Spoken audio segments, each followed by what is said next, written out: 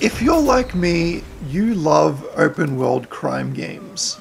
You also may have wanted to make one, but that is not so simple until today.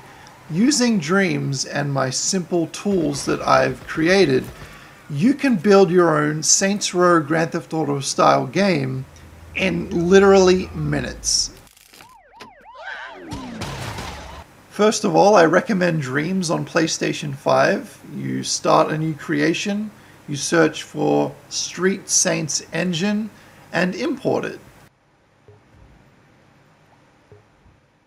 The engine has all the gameplay features and these road pieces that automatically spawn traffic and pedestrians when you are near them.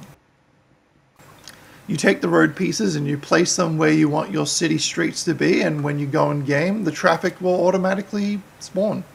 And follow traffic laws. Police will spawn on the road, gang members, etc. It's it's it's working already. Then the rest of the work is adding all the city graphics, buildings, grass, pavement, you know, whatever. Just make the city, and it, it's working. There's your there's your Grand Theft Auto. There's your Saints Row. It's done. There are also some additional things, though.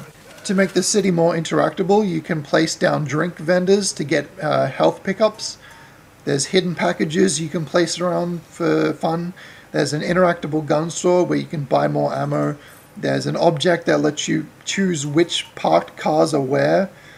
There's also breakable objects and also two activities to play, including Rampage and Insurance Fraud, for some extra fun in your city.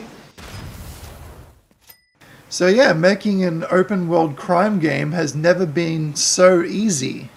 Although the size of the city has to be a little small, the sky is the limit to whatever you want to create. You, you can create your own open world crime city. If it had been this easy back in the day to make something like this, we would have had about 17 more Grand Theft Auto games.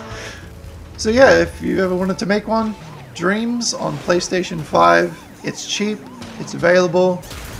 You can make literally any game you want to make, and this just happens to be one of them.